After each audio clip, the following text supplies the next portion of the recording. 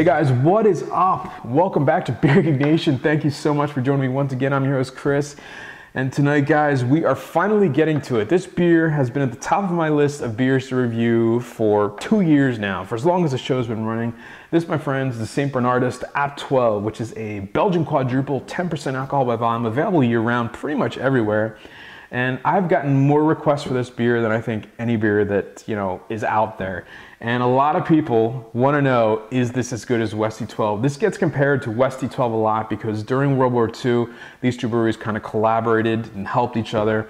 Um, this is a very similar recipe. The yeast strain is actually a different yeast strain. It's actually the original um, Westvleteren yeast strain, believe it or not. So Without further ado, let me get into a glass that you guys know how it smells, tastes, and give you the verdict. And is it as good as Westy 12 on the St. Bernardus Abt 12?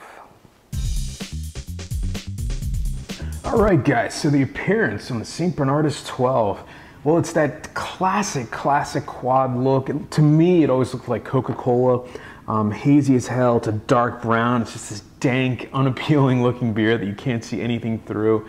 This is a bottle conditioned beer. Um, there's two to three fingers worth of a really, really tight white, um, off-white head on there. It's rocky, it's dissipating really quickly, but you guys can see the lacing on this thing, and that is from the bottle conditioning. It's just a classic, classic world-class example of what a you know quadruple should look like. This is it. All right, guys, the aroma on the St. Bernardus 12. Yeah, again, just a, a classic, world class example. Uh, you want to smell what dark fruit smells like in a beer? This is it. It basically smells like raisins, prunes, and figs coated in brown sugar and then just squeezed into the beer. And that's really, really the best descriptor I can give you. There's a graininess. You definitely smell the alcohol in there, but it helps to cut that sweetness from the dark fruits.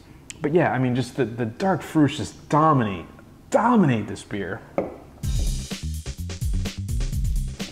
right, guys, so the taste on the St. Bernardus 12. Cheers. It, it, the, I'll tell you the beautiful part about this beer, right at the front of the tongue, your tongue is assaulted, dare I say, assaulted by carbonation. And the really awesome part about that is it just pops the palate open, gets the palate ready for every single sip that you take in here, and it allows the flavor to kind of soak in. And what are those flavors, you ask? Well, middle of the mouth, wow, I mean, it's huge. It's rum soaked raisins, brown sugar, plums, figs, just streaming, just streaming into the palate on this one.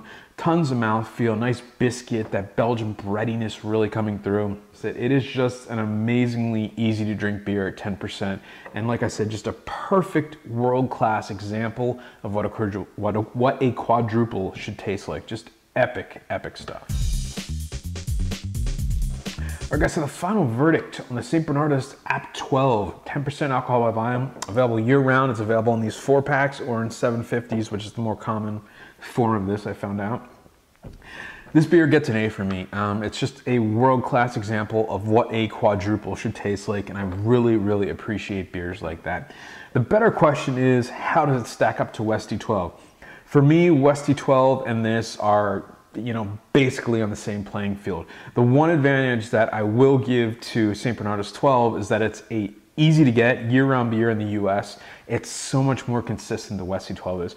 Westy 12, depending on bottle to batch to batch to bottle or whatever, it just it's gonna vary in the carbonation and the flavors. Some are infected, some aren't. I've never had a bad bottle of this. It's easy to drink, but it's an aggressive, big, malty beer. Um, and it, it, it, demands appreciation, but at the same time, it wants you to enjoy it. So it's just, it's this dude right here. This dude is having a great time drinking this beer. So with that said, guys, St. Bernardus 12, is it better than Westy 12? Is it the same as Westy 12? I think it's on the same playing field as far as the flavor, aroma, and everything. You're not gonna go wrong with this.